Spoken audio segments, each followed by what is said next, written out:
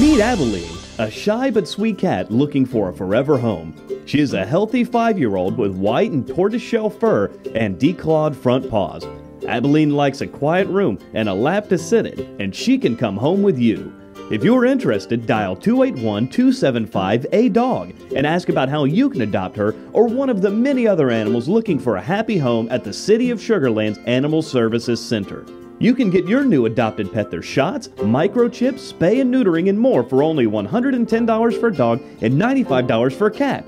You can also get more information by visiting www.sugarlandtx.gov.